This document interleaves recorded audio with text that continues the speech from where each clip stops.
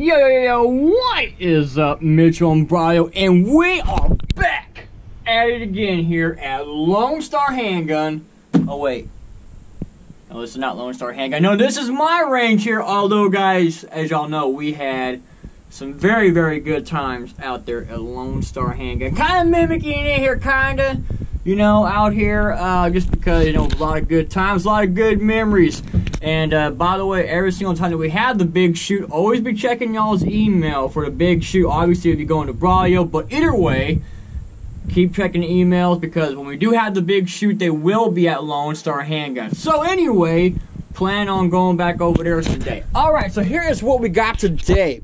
We have brand new. Look at that brand spanking new. You probably can tell the oil is still on the rifle right here. This is the Ruger American chambered in 22 LR.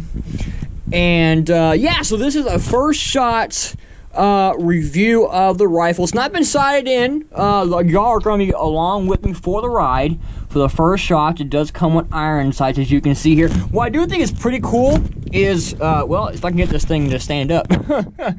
uh, this sight actually, uh, it folds down. Well, it did when, okay, okay, there we go.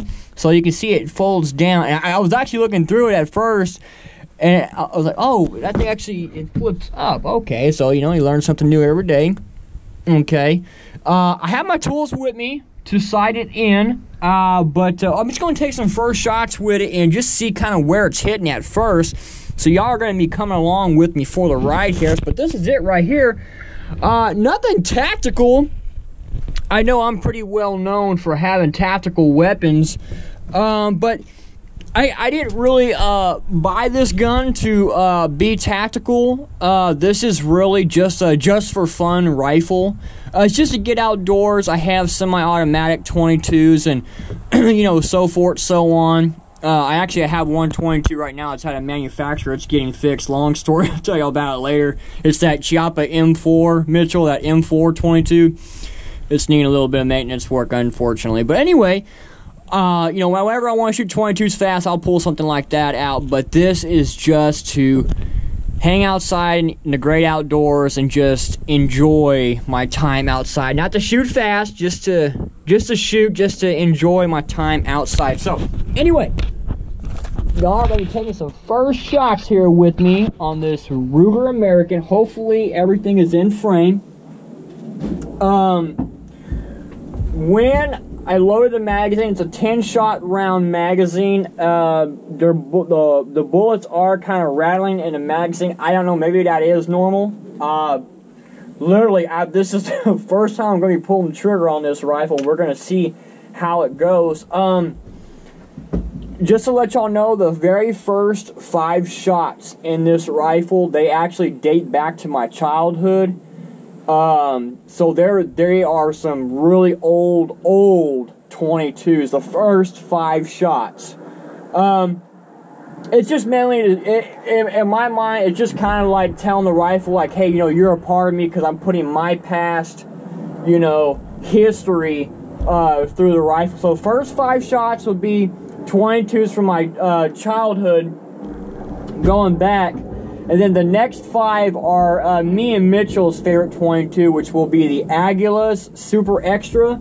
Uh, they're not the copper plated bullets, Mitchell. These are the lead, um, which, you know, I don't know. I'm, I'm kind of taking a favor now to lead. I know me and you, we shoot the, the copper ones a lot. And I'm not saying there's something bad about that. Um, just, well, the lead is a little more safer. So um, but either way, me and Mitchell's favorite Aguila. All right, let's do this, guys. Um, let's see how this rifle does. Okay, so I already put it around in the chamber and closed the bolt. I believe the magazine is fully seated. Okay, first shot, guys. Here we go. Um, uh, I'm gonna go for um I have a little plate. I think that little plate's about 30 yards away. So 30 yards, small plate.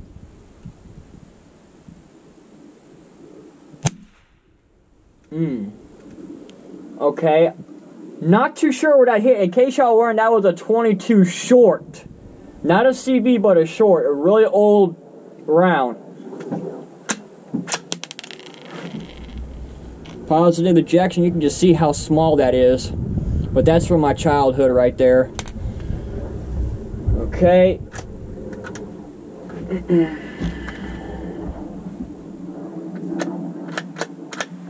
okay, what? Hold on. What's going on here?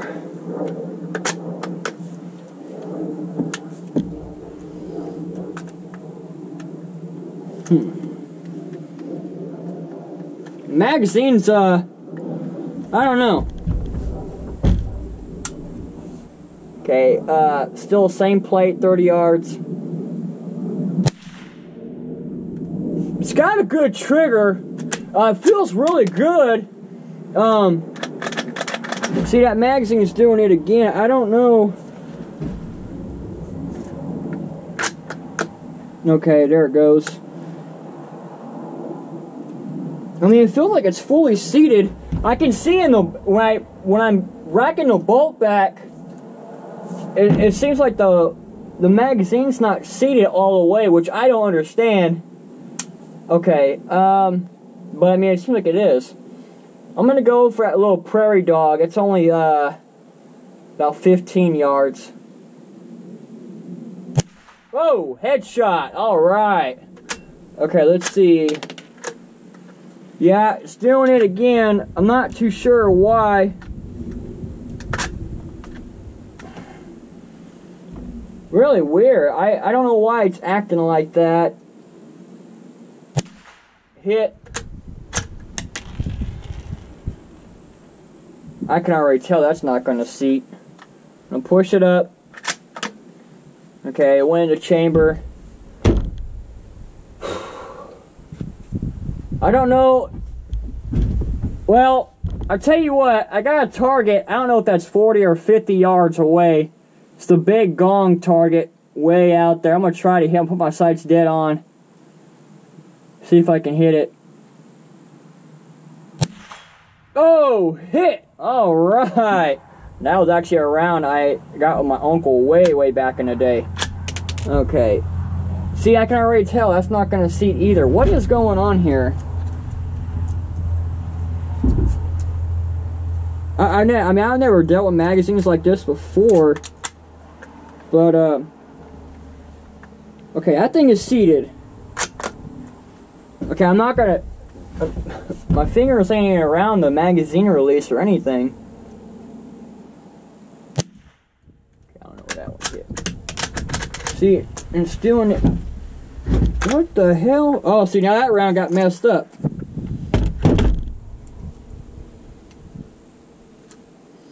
I don't know what the hell is going on?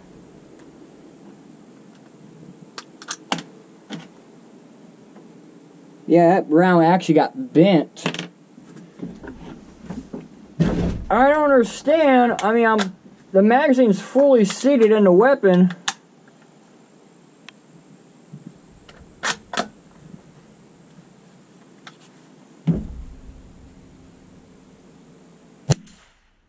Hit that target there, that small little plate. Oh, what do I have to do? Hold the magazine? I hold, put my hand right here. right? Oh, that one hit. Yeah, yeah, hold, hold, put, keep my hand right there, just, I don't know. I don't know. Wow, good shot. That was a good shot. Okay, I'm all out. I I don't know. Uh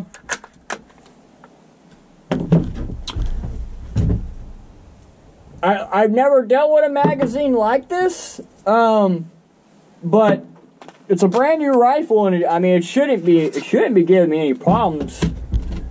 Um but yeah, no, I just, uh, you know, I got this gun just to kind of, you know, take my time outside, you know, not really to rush any shooting or anything like that. It's just something just to get outside and just, you know, just take take your time outdoors, you know. It's not, it's not meant for rushing. That's not why I, I bought it, but I would like to know what is going on with this magazine.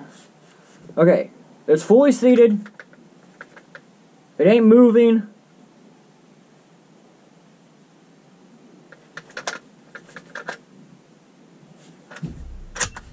I don't know. Your guess is about as good as mine.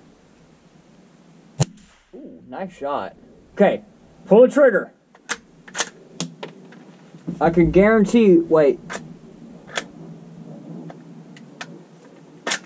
I don't know why. Shot. I already know that bullet wouldn't go in the chamber. I gotta lift it. This gun actually, believe it or not, it can actually take 30 round magazines. The little, like the, the, uh, 30 round magazines you get from Academy.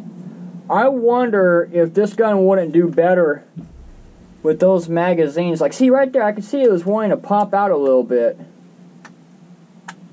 I don't know why. I don't know why that is. I mean, it's smacking these targets right now.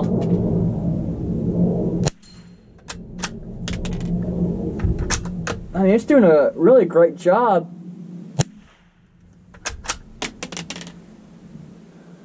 I don't know. Huh. Why that is.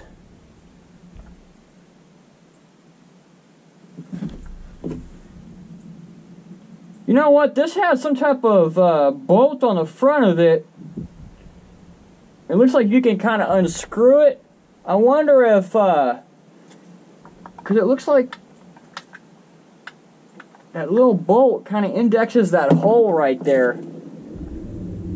I wonder if I would need to unscrew it more to uh, get it in there. But you shouldn't have to.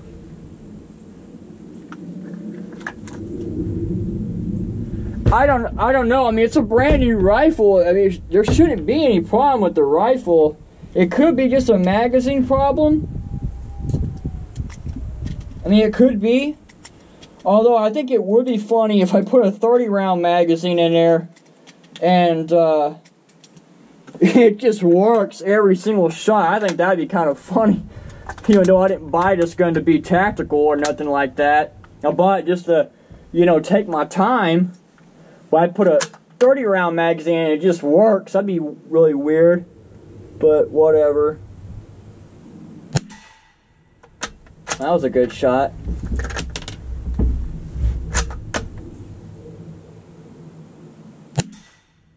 That was a good shot. It's, I mean, it's smacking them, man. Whoa. That was a small plate, too.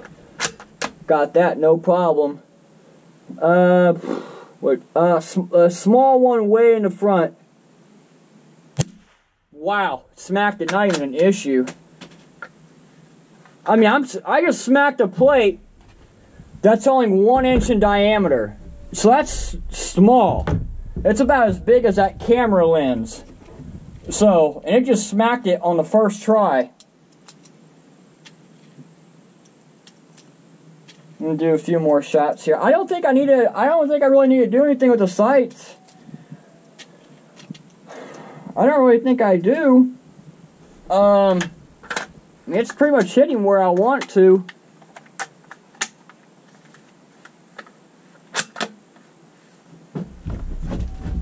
Where's Mitchell and Braulio at? They need to come on out here. Let's see here. Oh, okay, that one went to the right. Going for that small plate. Oh! Wow, nice shot. Mm, that one I'm not too sure. I tried to hit that uh, 50 yard. Oh, smacked it. I tried to hit that uh, 50 yard again. Or I tell you what, let's let's let's challenge this rifle. Okay. Okay, I have that one plate that's a little one incher. I have one that's like about a half inch. So I mean, it's It's small, like one of these 22 cases, man. It's kind of like that big. I got one round left. Let's see if I can hit it. Okay, that one I'm not too sure where. Uh, should I stop the video right now or try to go for that little itty bitty tiny target? I mean, it's a small, it's a small target. But, I mean, I don't know. I don't think I need to really mess with the sights. Magazine a little hard to load. Not too too bad. But you gotta you gotta kind of press down on it a little bit.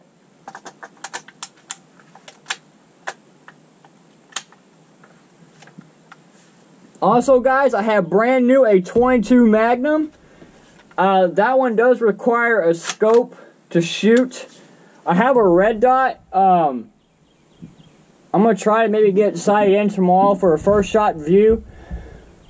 I might be able to do it, I might not, but today, Ruger American, and we're just kind of putting the, this gun through its paces. Oh! Second try, and I just got it. That little plate that's like this big, I just smacked it. So the second try, I actually got it. That's pretty good. I, like I said, I just don't know what's going on with this magazine. Okay, four shots left. I'm gonna wrap up this video here. It's going on 16 minutes. Oh, that's a good shot. Okay, a little small plate, 30 yards. Hit. We're gonna go for the uh, 50. Hit. Uh do one more on the 50. Oh, not too sure that one. Okay, guys. Well, anyway, Mitchell, Braulio, I hope everything's going great at y'all's houses. And, uh, you know, I always hope the best for y'all guys. I hope y'all enjoyed the video. I uh, wish y'all guys were out here to uh, try this out with me. That would be awesome. Uh, but, yeah, the Ruger American 22. Um, by the way, this stock you can actually uh, take it off. You can put they, ha- they has another stock that it came with. Uh, it's just this where like it raises it raises the cheek up. I don't think I really need to mess with it all that much. It seems to be just fine where it's at. Uh, it has a good front handguard. You can really get a good grip on it. It's got a really good fiber optic front sight. 10 round magazine. I don't know why the magazine's acting the way that it is. I don't want to say it's a rifle problem. It could be just a magazine problem. There's a chance of that. Um, trigger is excellent. Uh, I mean, the trigger breaks. I mean, so, so clean. Um, it has uh, sling mounts on it. So that way, if you want to go ahead and put a sling on and go hiking through the woods, you can. Uh, I don't see myself ever doing that, but all in all, I have to say, uh, for a first shot uh, review, it's very, very good. Very, very good. Very accurate. I don't think I really need to mess with the sights at all. Uh, it's got a good checkering here on the grip, so you can get a good purchase on it. And, uh, it's a pretty neat little rifle. Got it from, once again, budsgunshop.com. Seriously, guys, if y'all thinking about buying some guns for y'all selves, budsgunshop.com. Although my dealer out here in the country, uh, he charged me a premium for just to do a legal transfer fee. Cost me 60 bucks on both these rifles. Where in San Antonio would have been for free. would have been for free or for about 30 $35. But, uh, you know, people out here, they're just trying to make a living, you know. Uh, but yeah, tomorrow I'm, I'm, thinking about getting out that 22 Magnum and giving it a, a first try. Uh, but anyway, I'm going to put some more shots down range and uh, kind of see how it goes. Hope y'all enjoyed the video and y'all have an awesome day. The Wolf signing out. Y'all have a good one.